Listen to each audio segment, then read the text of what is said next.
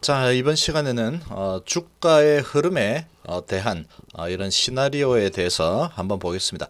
단기가 아닙니다. 어, 단기는 어, 지금 생각도 하지 않고 있습니다. 어, 장기 시나리오에 대한 어, 그런 부분 어, 하고 어, 지금은 어, 완전히 그냥 무대포 정신이 어, 필요한 때다 이렇게 생각이 됩니다. 자신감으로 어, 똘똘 뭉칠 만한 어, 그런 위치다. 이렇게 생각이 됩니다. 자, 어떻게 가든 간에 서울만 가면 되는 겁니다. 어떻게 가든 간에 서울만 가면 되죠. 이 서울은 어, 내가 원하는 어, 목적지다 이렇게 생각을 하면 됩니다. 이 본인이 생각하는 서울은 다 다를 겁니다. 전부 다 다르겠죠. 어, 기간에 따라서 어, 내가 투자하는 기간에 따라서 어, 다 달라질 거고 어, 내가 생각하는 크기에 따라서 어, 다 달라질 거다 이렇게 어, 생각을 합니다.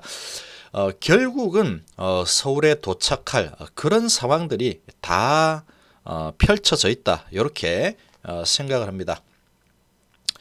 자 보시면 어떻게 가든 간에 서울만 가면 되죠.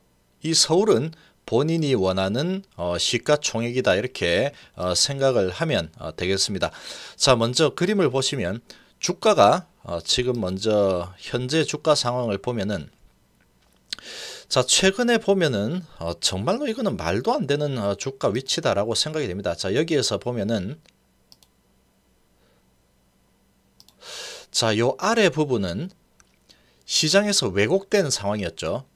여기서 이렇게 쭉 가다가 어, 데이터가 어쩌고저쩌고 해서 어, 이렇게 내려온 어, 그런 상황입니다. 자 그런 상황인데 이런 부분은 어, 조금 완전히 왜곡되어 있는 상황이라고 볼 수 있겠죠. 그럼 여기를 어, 삭제를 하고 본다 그러면 주가가 이렇게 흘러갔겠죠. 이렇게 흘러갔을 겁니다. 이렇게 갔다가 크게 올랐다가 여기까지 내려왔죠. 지금 기업의 가치는 어, 크게 변할 만한 사건들이 계속해서 요 구간 동안에 엄청나게 많은 일들이 어, 실제로 발생을 했습니다. 과거의 기대감만으로 갔던 HLB하고는 완전히 다른 상황이죠. 완전히 다른 상황이다. 모든 게 다 성공적으로 나왔고 프리엔데이까지 다 마무리가 되고 어, 아주 어, 하고자 하는 어, 목표하고자 한 어, 그런 부분들 전부 다 어, 마무리를 어, 다 진행한 어, 그런 상황이죠. 자 그런 상황인데 자 지금 이렇게 보시면 여기서 이렇게 쭉 갔다고 보면은 지금은 주가의 위치를 보면 여기에서 정말로 얼마 오르지도 못했죠. 지금 어, 3차 데이터 임상 3상 어, 데이터 성공적으로 하고 ESMO상 받고 어, pre-NDA reject 받지 않고 pre-NDA 성공했고 아주 어, 성공이 아니죠. pre-NDA 회의록을 받았고 이 그런 상태에서 어 이제 엘레바하고 합병까지 마무리가 돼 있죠. 자 그런 엄청난 일들이 예, 다 성공적으로 진행됐는데 주가의 위치를 보면은 자 작년에 어, 삼상이 성공 할 것 같다라는 어, 그런 기대감으로 간 가격보다는 훨씬 더 낮은 상황이고 자 여기에서 본다 그러면 여기에서 이렇게 흘러갔다고 생각하면은 여기에서 쭉 흘러왔죠 이런 기대감만으로 어, 왔던 어, 그런 위치에서 올라간 폭이 보면은 정말로 얼마 오르지 않았죠. 이제 위치를 보면은 어, 그렇습니다. 이렇게 보면은 정말로 지금 자신감을 어, 만땅으로 충전해도 될 만한 어, 그런 위치죠. 지금 성공할까 실패할까 어, 이런 부분이 아닙니다. 지금은 이미 성공을 다 했고 이제 FDA 승인 신청이 정말로 이제 눈 어, 코앞에 다가왔죠. 5개월도 이제 남지 않았습니다. 5개월도 남지 않은 상황이죠. 자, 그런데 그런 부분을 다 무시하고 주가가 어, 정말로 여기에서 보면은 얼마 안 올랐죠, 진짜. 이렇게 보면은 기대감만으로 갔던 주가보다도 엄청나게 하락이 어, 발생해 있는 어, 그런 상황입니다. 자, 지금 이제 이런 위치죠. 자, 이런 위치에서 지금 주가가 그냥 떨어졌다 그래서 지금 HLB 가치에 대해서 이제 어, 제 채널을 어, 계속 시청하시던 분들은 이제 뭐 어느 정도 알 겁니다. HLB 리보세라닙의 가치에 대해서는 알고 있겠죠. 자 그런 어, 분들이라면 지금 상황에서 어, 겁을 먹기보다는 대부분이 어, 상당히 욕심을 내고 어, 있을 거라고 생각이 됩니다. 자 그럴 수밖에 없는 어, 지금 위치죠. 여기서 지금 뭐 거의 오르지를 못했습니다. 지금은 이제 다시 이제 삼상 진행합니다. 뭐 그런 수준이죠. 지금 분위기를 보면은 FDA 이 pre NDA까지 어, 진행한 어, 그런 이 주가의 상황이라고는 도저히 어, 받아들일 수 없는 어, 그런 위치입니다. 지금 이제 삼상 진행합니다. 이제 삼상 임상 승인 받았습니다. 한 뭐 그 그 정도 수준의 위치라고 볼 수 있는 어, 수준까지 내려왔습니다. 자 이렇게 보면은 정말로 많이 왜곡된 주가다라고 생각이 되고 이렇게 왜곡된 주가는 반드시 가치를 어, 찾아갈 겁니다. 어, 그렇게 생각합니다. 자 그리고 자 이런 상황이죠. 모양이 자 이런 상황이다 여기서 갔다가 엄청나게 내려왔죠. 자 어디까지 내려갈지 어, 단기적으로는 모르죠. 단기적으로는 지금 뭐 거의 뭐 불법이 판치는 어, 그런 뭐 상황이다 보니까 뭐 그럼에도 불구하고 어, 제이 공매가 아, 매도한 아, 공매를 친 물량을 보면은 상당히 이제 몸을 사리고 있죠. 어, 상당히 몸을 사리고 있습니다. 공매 어, 본인이 공매라고 생각해 보면 알 수 있겠죠. 이제 저런 어, 상황이 진행이 되다가 이제 어떤 강한 매수세가 들어와 버리면 이거 뭐 감당하기 힘들 거다라고 생각이 됩니다. 자, 지금 보시면 주가가 이렇게 가서 크게 하락하고 있죠. 크게 하락하고 또 올라갔다가 하락하고 올라갔다가 이런 식으로 갈 수도 있습니다. 보통은 이렇게 가죠. 이렇게 가나 아니면은 요렇게 요렇게 계속 타고 올라가나 아니면은 요렇게 가다가 좀 올라갔다가 쭉 빼거나 쭉 빼, 빼고 그 다음에 크게 오르고 또 크게 빼고 완전히 수직 상승하고 이렇게 가나 어, 디로 가든 간에 본인이 원하는 시총까지 가는 거는 어, 똑같다라고 어, 볼수 있는 어, 그런 상황이다라고 생각이 됩니다. 리보세라닙 지금 HLB가 진행하고 있는 이런 상황을 보면은 리보세라닙 승인은 어, 뭐 거의 확실시 되고 있죠. 모든 정황상 어, 승인 날 가능성이 예, 승인이 나지 않을 가능성보다는 훨씬 더 높죠. 어, 비교가 되지 않을 정도로 뭐 거의 99% 이상이라고 어, 정황을 보면 그렇게 볼 수 있습니다. 자 그런 상황이다 그러면 바로 옆에 항서제약 보이죠. 자 항서제약이 리보세라닌만 가지고 리보세라닌만 가지고 2014년도 말에 리보세라닙을 런칭을 딱 해서 어, 그때부터 해서 주가가 흘러간 상황을 어, 보면 되는 겁니다. 자, 이 부분을 보면은 몇 배 올랐는가 이게 중요한 게 아닙니다. 지금 몇 배 올랐는가 하면은 뭐 한 8배 올랐죠. 8배 올랐지만 그거보다 더 중요한 거는 시가총액이 어 얘가 7조였죠.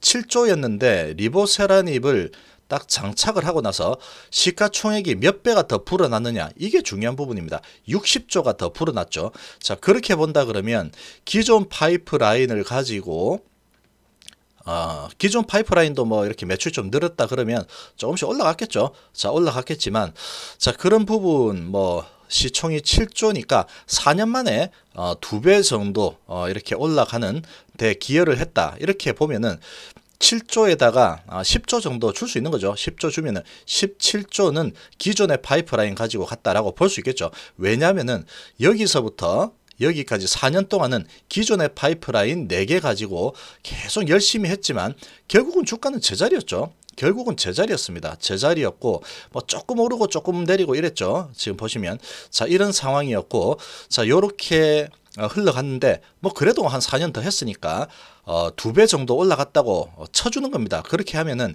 7조에서 17조 됐다 이렇게 볼 수 있겠죠. 그럼 17조를 떼고 나면은 나머지 어, 지금 시총이 67조 정도 되니까 나머지 50조 정도가 남죠. 그 50조는 지금 리보세라닙의 이런 성장성 그리고 실제로 매출이 계속 성장하고 있는 그런 어, 부분에 대한 어, 평가다라고 어, 볼수 있는 거죠. 자 그러면 이렇게 볼 수 있는 겁니다. 리보세라닙의 가치가 한 50조 정도 어, 쳐주는구나. 라고 볼 수 있는 부분이죠. 자, 그러면 이제 어, 리버세라닙의 가치는 한 50조 정도가 어, 될수 있는 부분이다라고 어, 볼수 있는 부분입니다. 자, 그렇게 되면은 A 자, 이 HLB도 결국은 어, 항서 제약의 이 리보세라닙의 가치 정도는 가겠죠. 자, 그런데 차이점이 뭐냐? 이 항서 제약 같은 경우에는 어, 중국 판권만 가지고 있습니다. 그리고 지금 어, 매출이 일어나고 있는 부분에 대해서 딱 그것만 가지고 어, 기업의 가치를 어, 쳐주지 않습니다. 거기에다 플러스 알파가 지금 여러 가지 테스트하고 있죠. 간암이라든지 뭐 어, 자궁 경부암이라든지 상당히 많이 하고 있죠. 그런 부분이 어, 앞으로 또 잘 될 수 있다라는 어, 그런 기대감으로 어, 또 올라간 플러스 알파가 어, 좀 추가적으로 어, 장착이 된다라고 어, 볼수 있는 부분입니다. 주가는 이제 그런 부분에 대해서 미래를 보고 먼저 올라가는 게 주가죠. 자, 그래서 이제 지금 아파티닙이 상당히 많이 매출이 성장하고 있고 추가적인 임상을 많이 하고 있기 때문에 그런 겁니다. 자, 그런데 차이점이 뭐냐? 항서제약은 중국이죠. 어, 그러나 HLB는 전 세계입니다. 전 세계고 위안 부분만 지금 중국 쪽이 어, 그래도 한 35%, 뭐35% 정도 어, 차지하죠. 그리고 나머지 65%는 전 세계입니다. 그러면 두 배죠. 두 배라고 본다 그러면 항서제약 수준보다는 어, 두배 정도로 쳐줄 수 있는 어, 부분이다라고 볼 수 있겠습니다. 자 일단 그렇게도 볼 수 있는데 자 그런 상황인데 어, 실제로 이제 지금 위안 부분은 시작에 불과하죠. 시작에 불과하고 이제 어, 내년 말 정도 된다 그러면 위암은 이제 승인이 되어 있겠죠. 되어 있는 상태가 될 거고 그러면 이제 전 세계 이제 판매가 될 겁니다. 어, 그렇게 된 상태에서 추가적으로 어, 진행이 되는 부분이 가남이 따라고 있죠. 가남이 이제 그러면 2020 지금 삼상을 하고 있습니다. 삼상. 가남 삼상하고 있죠. 자, 어제 이제 젠백스 보면은 임상 이상 어쩌고 하면서 이렇게 올라갔죠. 자, 그런데 지금 가남은 가남 어 항암제죠. 어, 가남 부분 지금 시장만 1조 정도 어, 되는 부분입니다. 그, 그 부분이 이제 뚫리게 되면은 뚫어내게 되면은 이제 매출이 1조가 어, 더 붙는 부분이죠. 그리고 거기에 대한 영업이익이 70% 정도 나오니까 7천억 정도 되는 겁니다.